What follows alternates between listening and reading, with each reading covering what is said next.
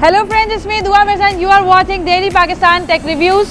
Today I have Realme GT Master Edition. इसका box different है इसी तरह फ़ोन भी डिफरेंट है मिड रेंज और अपर मिड रेंज में एक बेहतरीन फ़ोन है बहुत अच्छा फ़ोन है Realme का और कहा जा रहा है कि पाकिस्तानी मार्केट में इस फ़ोन रेंज में this will be the phone of the year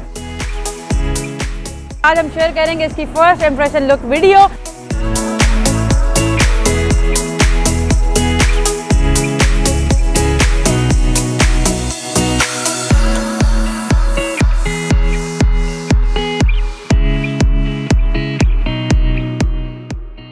here is the phone and it's really display hand friendly है और बहुत मज़े का है and see it's really different इसकी बैक साइड जो है वो बिल्कुल ऐसे ही है जैसे आपने कोई कवर यूज़ किया हो। कैमरा डिज़ाइन बहुत प्यारा हुआ हुआ है। तीन कैमरे इसके पीछे दिए गए हैं। सारी खूबसूरत लग रहे हैं because colour is so good and it's shiny back flash light दी गई है।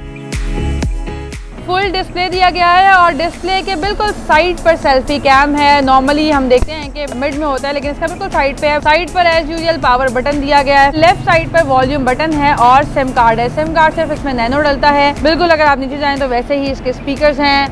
पोर्ट है जो कि सी टाइप की पोर्ट लग रही है और इसके साथ बिल्कुल साउंड के लिए एक पोर्ट दी गई है ताकि आप हैंड फ्री कनेक्ट कर सकें। ये बड़ा शाइनी से और मेटल की इसकी साइड्स हैं। ग्रे कलर की it looks very good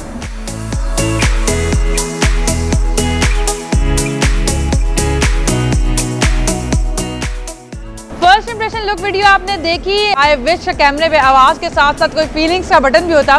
तो मैं आपको बताती कि इसकी कितनी लाइट वेट फीलिंग है। I am loving the first impression look of this phone detail feature हम नेक्स्ट वीडियो में शेयर करेंगे so stay tuned with us and keep watching daily Pakistan tech reviews thank you